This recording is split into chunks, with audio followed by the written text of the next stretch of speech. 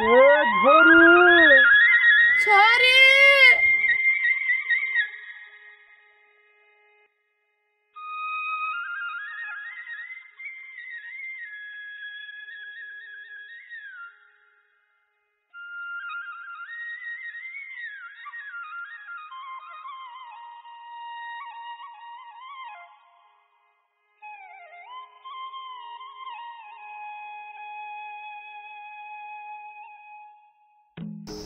आज त दसैँको टिका लाउने दिन हो। अब टिका लाउने अनि पिङ खेल्न जाने है।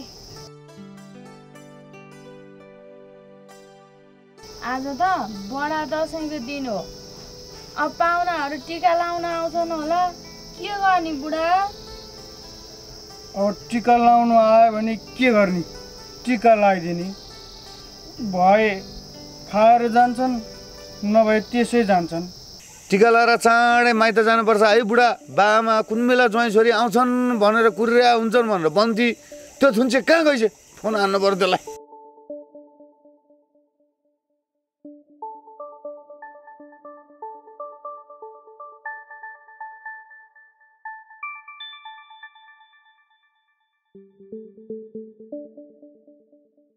ए थुन्चे त कहाँ छेस्? ए त्यो पुरानो घर छोडिदे यहाँ नयाँ घरमा आइज। आज टिकाको सायद नयाँ घरबाट सुरु गर्नुपर्छ। म तँलाई टिका टाँसिदिन्छु। तँ त एक्लै जा माइत। यसपालि म त जान्न।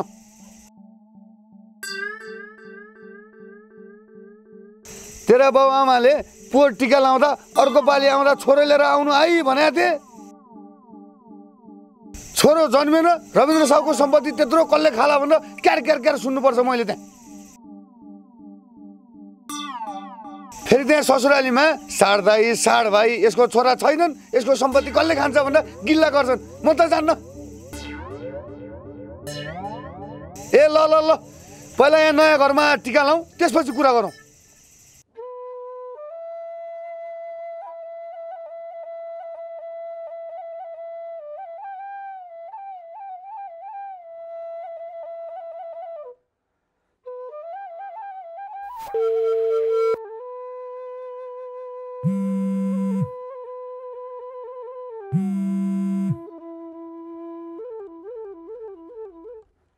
बुढी?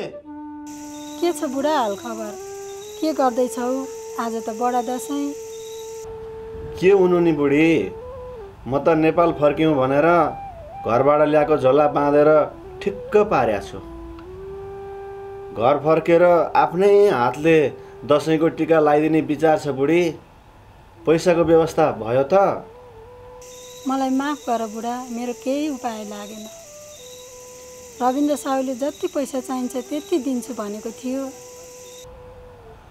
अनि पैसा लिएर पठाइदिए भए भइहाल्थ्यो नि। किन ढिला गरेको? आजै गएर पैसा लिएर आएर पठाइहाल बुढी।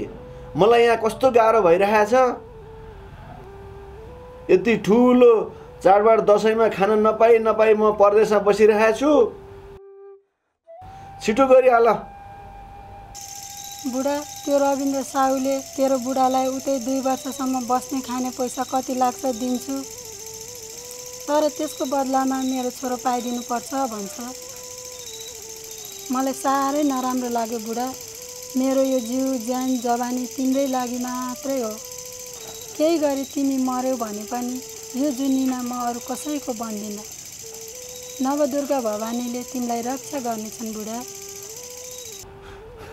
बरु यतै मर्छु बुढी मेरो लास नेपाल आओस् नआओस् त्यस्तो गलत काम चाहिँ नगर है बुढी यता कम्पनीले अर्को काम दियो दियोस् नदियो नदियोस् इलिगल बस्नु परे पनि बस्छु तर त्यस्तो गलत काम चाहिँ नगर बुढी म पनि यता पैसा खोज्ने प्रयास गर्छु कतै मिलिहाल्छ कि जे भए पनि नआत्तिनु बुढा म दुर्गा भवानीसँग प्रार्थना गर्दछु।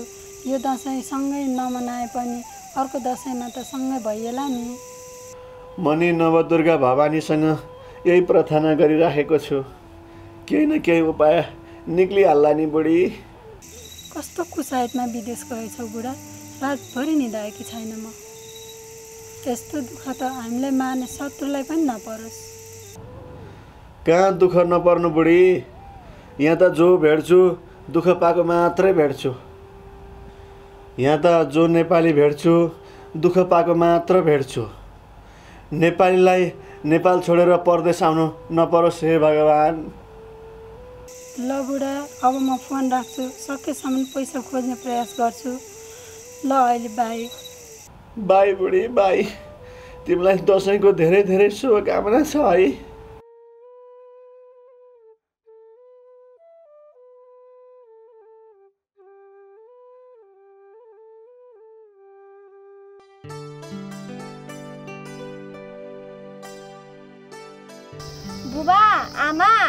भात पाक्यो। अब खाएर टिका लाउने कि टिका लाएर खाने? अब बडा दसैँको टिका कहाँ खाएर लाउनु?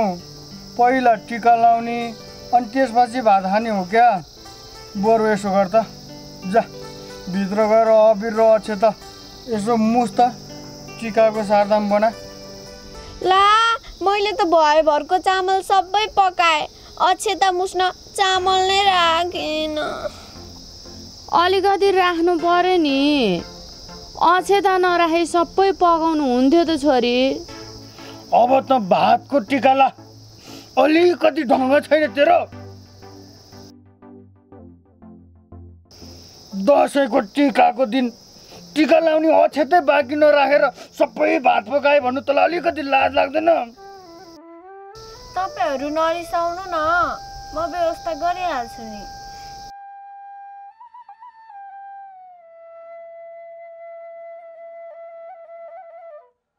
यो बडा दसैँको दिन छोरीलाई त्यसरी गाली नगर्नु पर्ने बुढा चित्त दुखाइ होली गाली नगरेर के गर्नु त?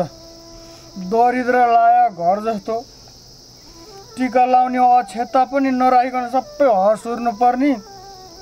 दसैँको टिका लाएर नघिचिकन बस्यो भने हुन्थ्यो नि।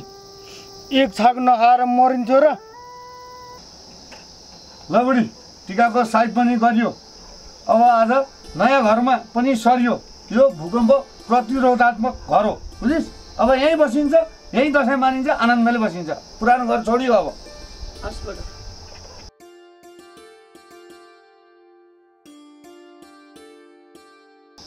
रसँग चलमा चल अब त ठिकै छ आफ्नो बुढीलाई अब धेरै। ल अर्को सालको दसैँमा चाहिँ छोरो हुनुपर्छ नि बुढी।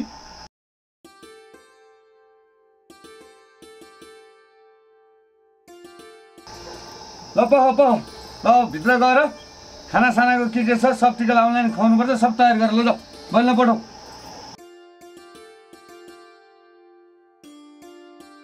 ल छोरी आउँछ आऊ छोरी आऊ टिका लाऊ।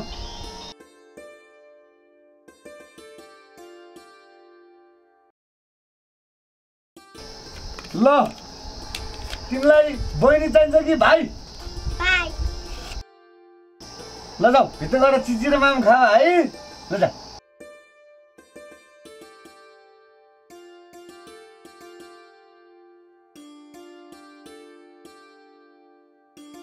ल अब आऊ तिम्रो बिहे पनि हुन्छ एउटा भान्जो लिएर आउने। बुझौ खालि तिम्रो भाउजूको त छोरी छोरी लिएर चाहिँ नआउने।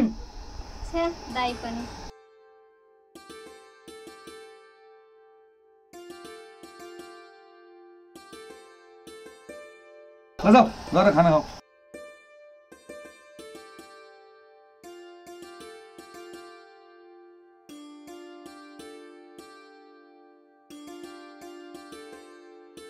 सबैजनाले खानासाना खाइसक्यो बुढो हजुरलाई पनि भोक लाग्यो होला यसो के खाने हो कि छैन भोकला कोही टिका लगाउने मान्छे आउला नि पक्न नमस्ते अङ्कल नमस्ते आन्टी नमस्ते विजय दशमीको शुभकामना मलाई पनि टिका लगाइदिएछ न मैले पनि हजुरहरूको खसी हेरेको छु परेको बेला काम पनि गरेको छु।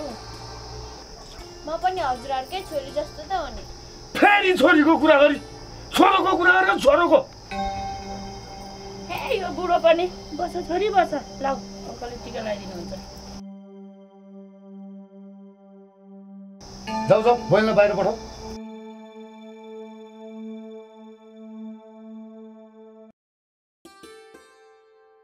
बहिनी ल यो टिकाको सामग्री तयार गरेर त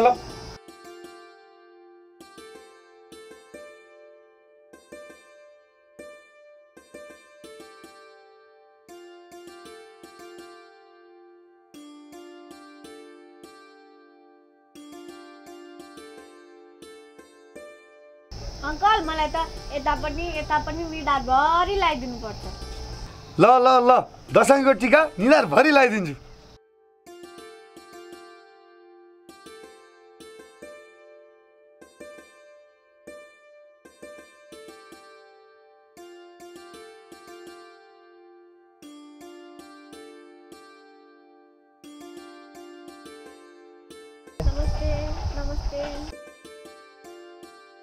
ल जा छोरी भित्र गएर खाना खा। होइन खाना त घरमै गएर खान्छु घरमै पाकिसकेको छ। म त हजुरहरूको हातको टिका लाउन र आशीर्वाद थाप्न मात्रै आएकी हुँ। हस् धन्यवाद नमस्ते।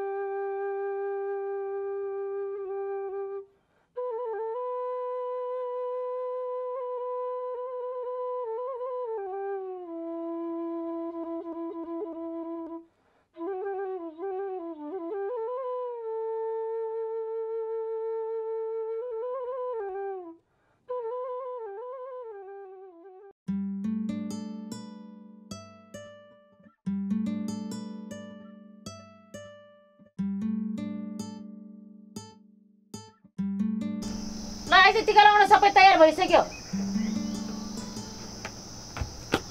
सुड्डी पहिला स्कुटीलाई पूजा गर्ने अनि स्कुटीलाई टिका लगाइदिने अनि मात्र म लाउँछु। होइन भने टिका सिका लाउँदिनँ। आज दसैँको टिकाको दिन। म कहाँबाट ल्याउँदा छोरी स्कुटी? दसैँ सिद्धेपछि किनिदिउँला नि त स्कुटी। अब टिकाको साइड पनि जान लागिसक्यो। टिका लाउन छोरी आऊ आऊ बाबा आऊ टिका लाउनु आऊ आऊ। स्कुटी नकिन्नेसम्म मरे पनि टिका लाउँदिनँ आमा।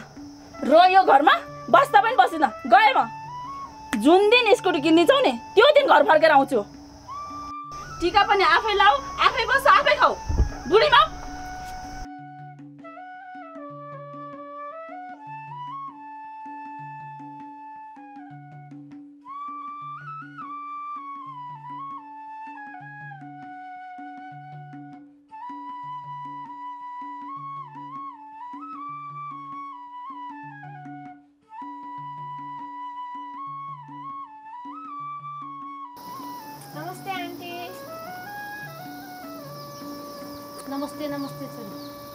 के माग्न आयो दसैँको बेलामा म केही माग्न आएको होइन आन्टी म त यो महान चाड दसैँमा हजुरको हातको टिका र आशीर्वाद थाप्न आएकी हुँ मेरो यो अभागी निधारमा हजुर जस्तो ठुलो मान्छेले टिका लगाइदिनुहुन्छ कि आफ्नो छोरी चाहिँ टिका नलाइकन हिँडी मुरेरको छोरी चाहिँ टिका लाउँछु भन्छ आजदेखि त पनि मेरै छोरी भइस् अब म तँलाई टिका लगाइदिन्छु। आन्टी होइन मलाई आमा भन है छोरी हुन्छ आमा यो दुखी श्रवण कुमारीलाई हजुर जस्तो ठुलो मान्छेले छोरी भन्नुभयो। मलाई त बल्ल दसैँ आएको जस्तो लाग्यो। अब छोरी बस टिका लगाइदिन्छु।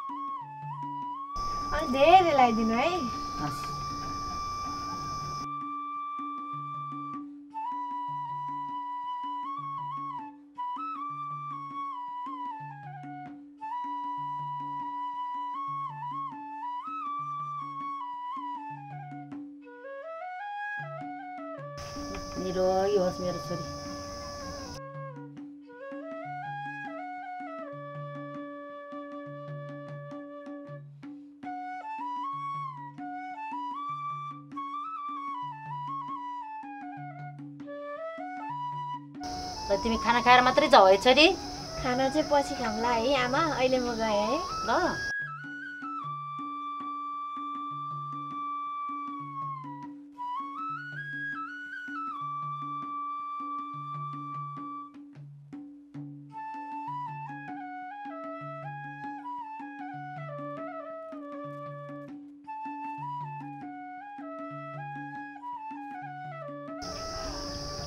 रगतको नाटाभन्दा भन्दा भावनाको नाटा ठुलो भन्थे हो रहेछ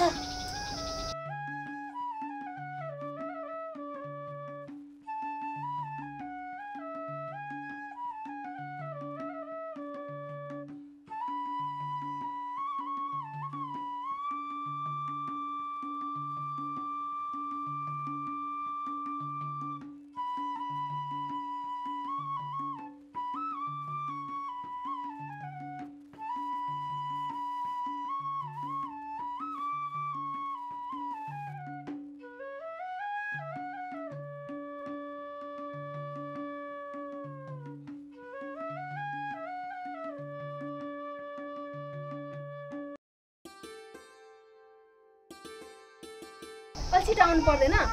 सँगै साइजको टिका लाउनुहुन्थ्यो नि। अन्त कि? आउँदा आउँदै ढिलो भयो। ल ल बस्दै गर। म दाइ भाउजूलाई बोलाएर टिका लगाइदिनु हुन् कि? किन आएस भनेर लखटिदिने हुन्?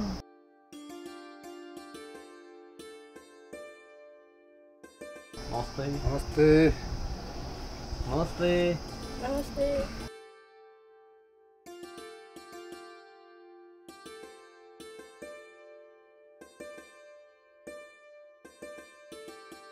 ए बहिनी कोरोनाको सामग्री रेडी बनाएर ल्याऊ त छोटेलाई टिका लगाइदिनु पऱ्यो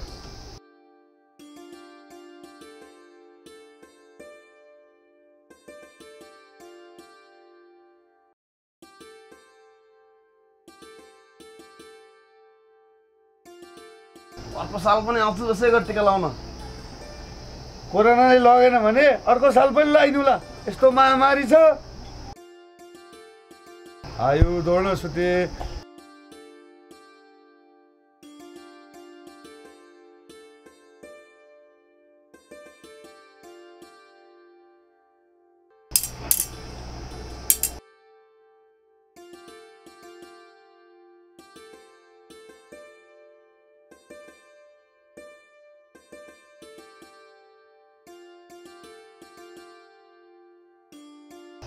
ल छोरी मान्छे भए दक्षिणा पाउँथ्यौ छोरो मान्छेलाई के दक्षिणा दिनु?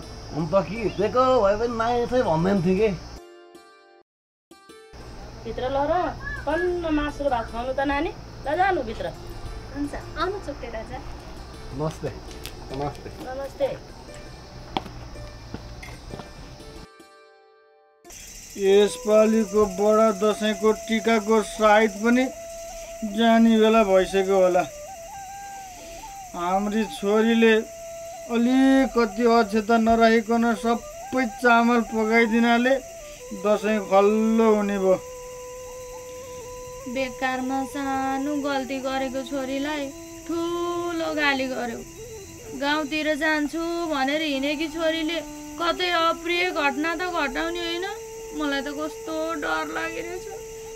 डराउनु पर्दैन आमा। म आइसकेँ बरु म भित्र गएर टिका जमरा ठिक पार्छु है। जहाँबाट जे गरेर भए पनि हाम्री छोरी श्रवण कुमारीले चाहिँ सब कुराको व्यवस्था गर्छे जे होस् तैँले छोरी चाहिँ जन्मा कि नै हो? अघि नै त हाम्रो छोरी कामै नलाग्ने भन्थ्यौ त बुढा। चुप चुप चुप। अघिको कुरा बिर्सिँदै बरु म अहिले मेरो भागको आधी मासु दिउँला। ल टिका र जमरा ठिक भयो अब भित्र जाउँ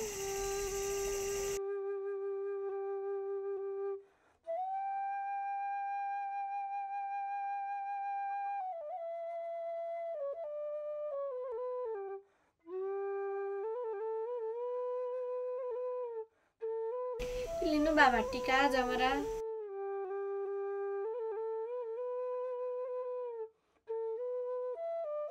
जयन्ती मङ्गलकाली भद्रकाली कपालिनी। लु अब हाम्रो सास रहेसम्म हाम्रो साथ नछोड्नु है छोरी। तँलाई मेरो धेरै धेरै आशीर्वाद छ।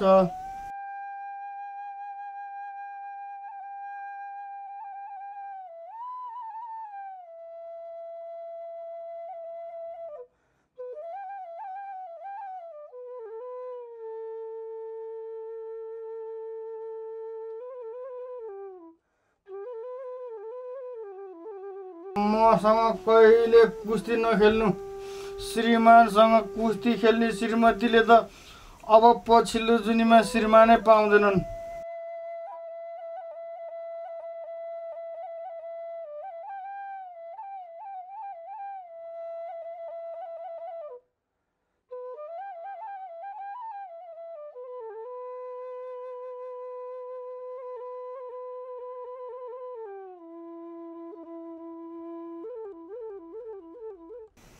तँलाई मासु मेरो भागको आदि हालिदिउँ। पर्दैन पर्दैन। आफ्नो भाग खाने हो। पैसा थिएन मासु ल्याउनलाई त्यसैले कुखुराको खुट्टा ल्याएको हो। आज रविन्द्र साउले टिका लाएर बिस रुपियाँ र निरु दिदीको आमाले हजार रुपियाँ दिनुभएको छ। भरे चाहिँ मासु ल्याएर खाने ल। जे भयो नि भइगयो नि छोरी। हामी जस्तो गरिब दुखीले कुखुराको खुट्टोलाई खसीको टाउको सम्झेर खाऊ न तिमीले कति दुःख गरेर हामीलाई खाने व्यवस्था मिलाएकी छौ। हामी जे भए पनि अमृतै सम्झेर खान्छौँ छोरी यो दसैँमा।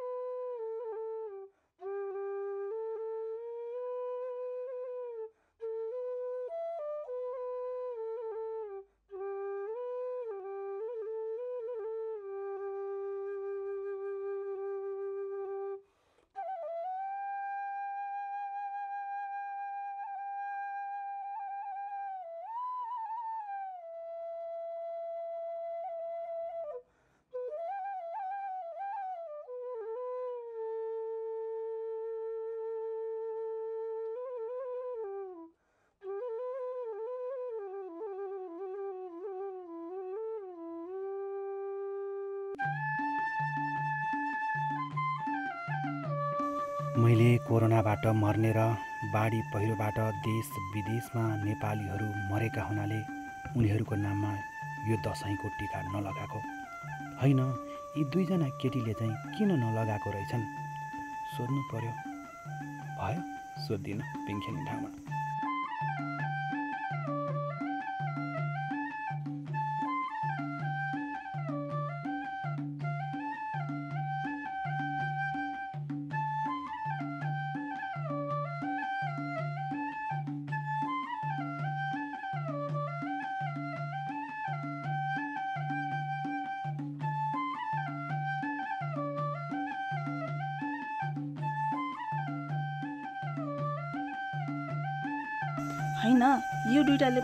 टिका नलाएको रहेछ। किन नलाएको होला? मैले त स्कुटी नकिन्दा भनेर नलाएको। यिनलाई सोधौँ भने के भनेर सोध्ने होला?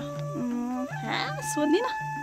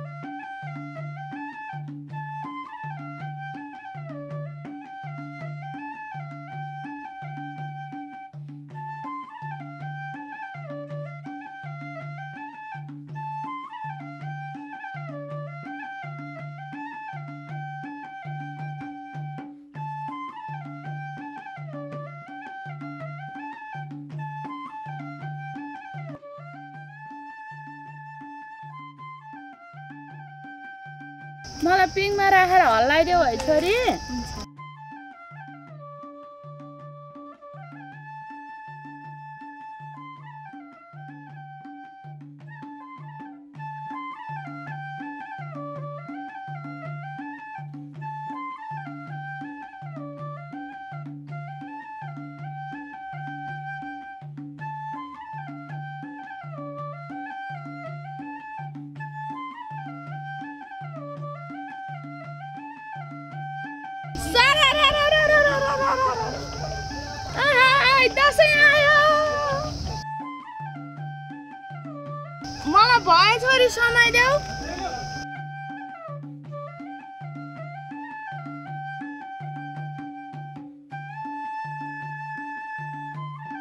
बाबा अब हजुरको पालो। मलाई हल्लाइदेऊ है छोरी।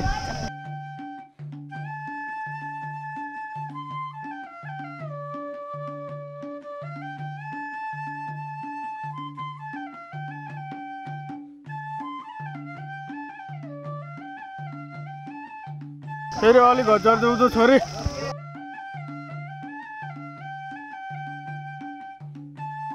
र, र, र, र,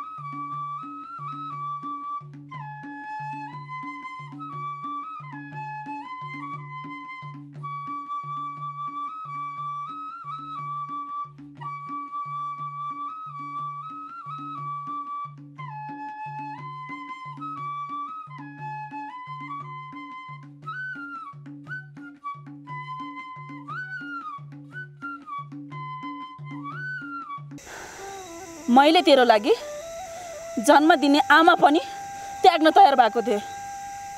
सानो एउटा गल्ती हुँदा पनि माफ दिन नसक्नेले जिन्दगीभर साथ र चोखो माया दिन्छ भनेर मैले कसरी विश्वास गर्ने? अब टाउकोमा हात राखेर मन्दिरमा गएर कसम खाएर केही नाप्ने त रहेनछ भनेर पत्ता लगाइसकेँ मैले। अब तैँले मलाई विश्वास गर या नगर। तर मैले तँलाई अविश्वास गरिसकेको छु। जसलाई तिमीले विश्वास गरेर हिँडेको छौ नि उसैसँग दसैँमा टिका टालो लाएर हिँडे पनि मैले छेक्दिनँ। तर निधार त खाली देख्छु नि। निधार खाली भएर के भयो त? मैले मेरो मनको मन्दिरमा कसैलाई सजाएर पूजा गरिसकेको छु। पहिलोचोटि तिम्रो मनमा राज गर्ने मै होइन र यसै गरी मनको मन्दिरको देउता फिर्दै जाने हो भने मनको मन्दिर नभएर सार्वजनिक पार्टी पौवा बन्ला। एकबाट दुई हो कुरो हो। यो दुईबाट तिन भए पो घिन हुन्छ। अहिले मैले जसलाई विश्वास गरेको छु उसबाट विश्वासघात भयो भने कि म आत्महत्या गर्छु कि त बिहे नगरिकन आमालाई पालेर सधैँ बस्छु। यो दुलो परेका कारणले यो दसैँको पवित्र दिनमा के सुन्नु पर्यो होला? तैँले सुनेको मात्र छस्। मैले त मेरो आफ्नै आँखाले प्रत्यक्ष देखेको छु। त्यही पनि सहेर बसेको छु। जुन दिन तैँले मेरो देख्छस् त्यो दिन तँलाई सहन गाह्रो हुनेछ। अब सुन्ने कुरा होइन जिन्दगीभर सँगै बस्ने कुरा गरौँ। अन्त के तिम्रो पनि पहिलो प्रेम? मेरो पनि पहिलो प्रेम अब हाम्रो प्रेमलाई सफल बनाऊ र सधैँभरि दसैँ मनाऊ तर एउटा शर्तमा के शर्त हो भन न म मान्न तयार छु। तिम्रै हातले त्यो जेनी भन्ने केटीलाई मारेर आयो भने म तिमीलाई जीवनभर साथ दिनेछु। अन्त कि एक हप्ताभित्र त्यसलाई मारेर यही ठाउँमा तिम्रो मायामा बेरिन आउनेछु। सात दिन त कुरेर हेर। मायाको खेलमा मान्छे मारेपछि जीवनभर जेलमा।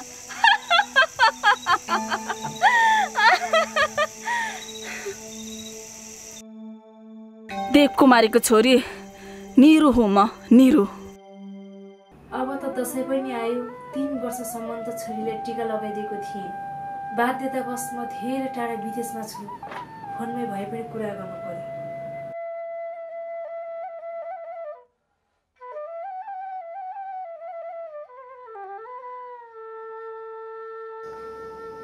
हेलो? हेलो छोरी दसैँको धेरै शुभकामना छ। अनि निधारमा टिका जमरा लगायौ त छोरी? तेरो नाममा छोडेको दसैँको टिका र जमरा बुझेस्? अब नुन पनि छोड्छु। यो दसैँमा नराम्रो नबोल न छोरी। अघि पछि जे जस्तो बोले पनि। नवदुर्गा भगवान्ले सुन्नुहुन्छ छोरी। त सधैँ दसैँ छ होला नि मना मना राम्ररी मना। अब मलाई कहिले नि फोन नगर। दसैँको टिकाको दिन हो नि आज छोरी। म आउन पाइनँ सरी ल। अर्को वर्ष चाहिँ मामु छोरी सँगै दसैँ मान्नुपर्छ है। मेरो आमा भएको भए यस्तो हुन्थ्यो र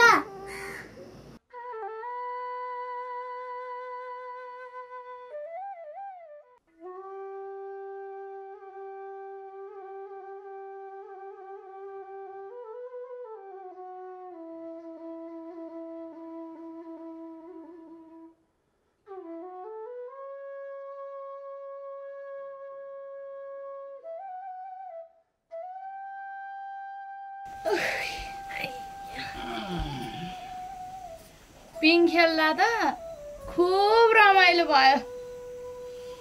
पिङ खेल्दा त रमाइलै भयो।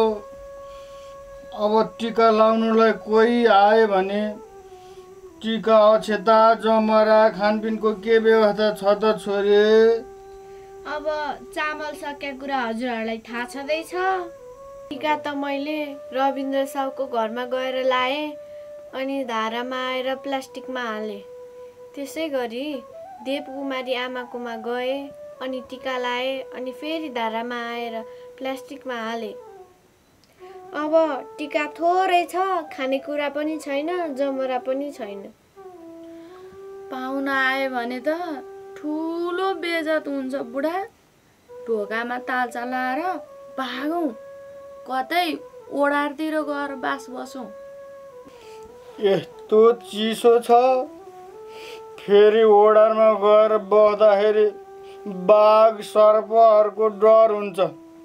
हामी आँखा देख्दैनौँ तिनीहरूले हामीलाई देख्छ। हाम्रो छोरी श्रवण कुमारी निदा बेलामा हामीलाई आएर कपलक्क खायो भने? अब एउटा कागजमा कोरोना लेख छोरी। हुन्छ आमा। अनि तेरी आमाको थोत्रो फरिया छ नि। त्यो च्यातेर डोरी जस्तो बनाएर टाङ। अनि त्यो कोरोना लेखेको चाहिँ त्यसमा झुन्ड्याइदे ल जाऊ छोरी त्यति गर त। हुन्छ बाबा।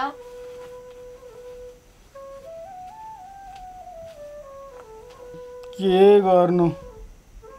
गरिबीको कारणले गर्दा यत्रो महान चाडबडा दसैँमा पनि आफन्त इष्टमित्र नातागोतासँग लुकेर बस्नुपर्ने भयो।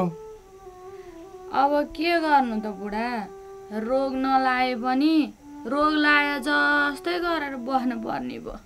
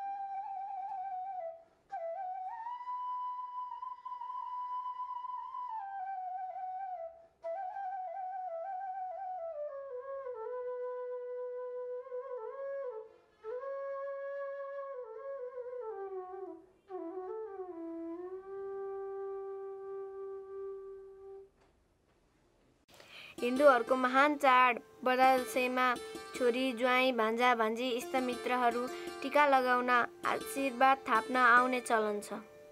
तर यसपालि कोरोनाको महामारी र लकडाउनले गर्दा हाम्रो घरमा कसैलाई पनि टिका लगाएर खाना खुवाउन नसक्ने भएकाले यो सब गरेको गल्ती भएमा आफ्नै छोरी सम्झेर मलाई माफ गर्नुहोस्। नवदुर्गा भवानीले तपाईँहरू सबैजनालाई रक्षा गरून् र यो कोरोना भन्ने रोग संसारबाट छिटै हटोस्। यहाँहरू सबैजनालाई विजय दशमी दुई हजार सतहत्तरको हार्दिक मङ्गलमय शुभकामना। कोरोना भाइरसको महामारीको कारणले गर्दा यसपालिको बडा दसैँमा हामी गाउँ तथा नगरवासीहरू नयाँ लुगा किन्नमा भन्दा पुरानै लुगामा निरन्तरता दिउँ। रविन्द्र चौलागाई छोरी सिरियल परिवार। बडा दसैँ दुई हजार सतहत्तरको उपलक्ष्यमा तपाईँहरूलाई हार्दिक मङ्गलमय शुभकामना।